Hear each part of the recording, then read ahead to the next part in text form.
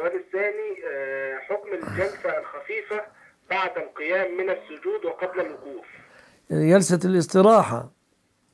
جلسة استراحة خفيفة ثم القيام آه، إيه. خلاف جلسة التشهد. أيوة القيام للركعة الثانية أو للركعة الرابعة. هذه المسألة مسألة جلسة جلسة الاستراحة. ذهب فريق من العلماء إلى إثباتها لحديث مالك بن الحويرث.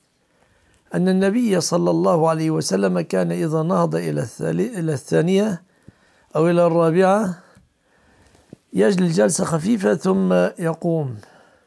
يعني الأمر ثابت لحظة لحظة. لا تأكل الكلام كذا. من الذي رواه؟ صحابي اسمه مالك بن الحويرث. أجاب آخرون من أهل العلم أن مالك بن الحويرث أتى النبي صلى الله عليه وسلم في آخر حياته وكان النبي قد بدن فكان يصعب عليه أن يقوم مرة واحدة. فكان يقوم يجلس جلسة خفيفة ويعتمد وبعد ذلك يقوم. فقالوا إنما فعلها النبي لعلة. فعلها النبي لماذا؟ لعلة. والدليل على أنها لا تفعل عندهم أنها ليس فيها ذكر. وأما هناك موطن في الصلاة ليس فيه ذكر. فهذه حجة القائلين بأنها لا تجلس بأنها لا تجلس.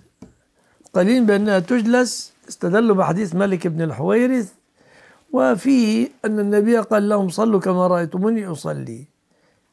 نعم سيدنا. شكرا لك.